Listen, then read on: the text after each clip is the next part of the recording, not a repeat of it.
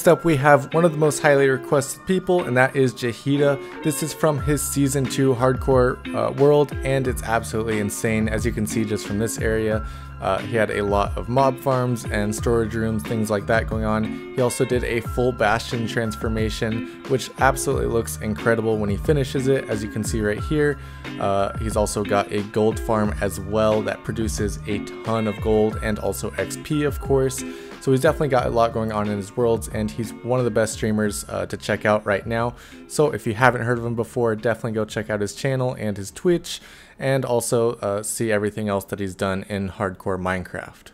I think that he did a great job transforming this bastion and making it pretty much whole again. Uh, the gold lanterns, everything he included in this looks amazing and it's definitely a great build. I especially like the uh, mushroom lights that he put in the ground and also the statues that he built as well.